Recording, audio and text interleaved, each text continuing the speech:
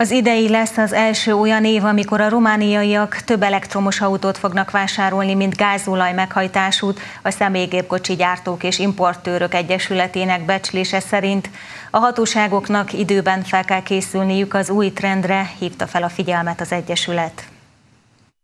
Tavaly az országban forgalomba iratott új autók piaca elérte a 127 ezeres küszöböt, és becslések szerint a piacnak ez a szegmense idén 10%-kal fog nőni. A legnagyobb növekedést az elektromos autók piacán prognosztizálja a személygépkocsi gyártók és importőrök egyesülete. Din 100 de români, 9 au luat mașină pur electrică. Tavaly 100-ból 9 romániai autóvásárló elektromos jármű mellett döntött. Valóban így van, és ezt azért mondom, mert sokan azt állítják, hogy ezek túl drágák.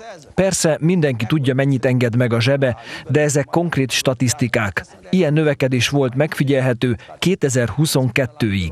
Az idénre becsült 19.750 eladott elektromos autóval már a 14% ot is megközelítjük. Tehát Romániában az ebben az évben vásárolt 100 autóból 14 elektromos lesz. Ehhez jelentős mértékben hozzájárul a Roncsauto Plus program is, amelyben idén változásokra számíthatunk. Az Egyesület információi szerint a leadott régi autóért járó voucher értékét az inflációhoz igazítják. Fontos ugyanakkor, hogy a hatóságok felgyorsítsák a töltőállomások telepítésének az iramát, hisz ezek száma jelenleg nem kielégítő, figyelmeztetett Danvardier.